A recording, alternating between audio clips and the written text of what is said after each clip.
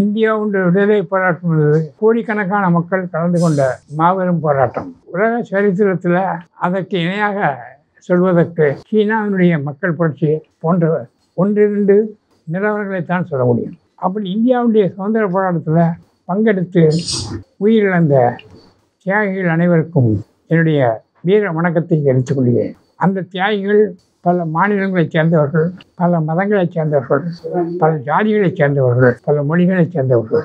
எனவே இன்றைக்கு நம்முடைய இந்தியாவில் இந்த போராடி பெற்ற சுதந்திரம் அந்த போராடி பெற்ற சுதந்திரத்தை பாதுகாத்து அதை சுதந்திரத்துக்காக போராடிய மக்கள் எந்த நோக்கத்துக்காக போராடினார்கள்?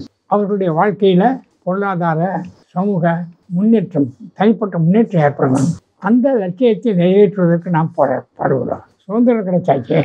அந்த சுதந்திரத்திலிருந்து அதை மக்கள் ஜனநாயகமாக மாற்றுவதற்கு மக்களுக்கு ஜனநாயக உரிமைகளை போல வழங்குவதற்கு நாம் என்ன செய்யணுமோ அதை செய்ய வேண்டும். அப்படி என்றால் வறுமை போக்க வேண்டும் வேலையில்லா திண்டாட்டம் போக்க வேண்டும் பெண் அடிமைத்தனம் போக்க வேண்டும் படிப்பு அறிவின்மை போக்க வேண்டும். இம்மாதிரியாக இந்த லட்சியங்களை நோக்கி இது பண்ணி ஒரு வளமான இந்தியாவை நாம் உருவாக்க வேண்டும்.